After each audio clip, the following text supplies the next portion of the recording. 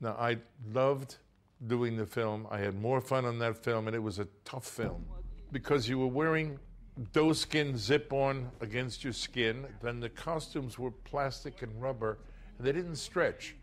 And we were in Mexico City, and it was 105, 110, 100 and whatever. It was terrible.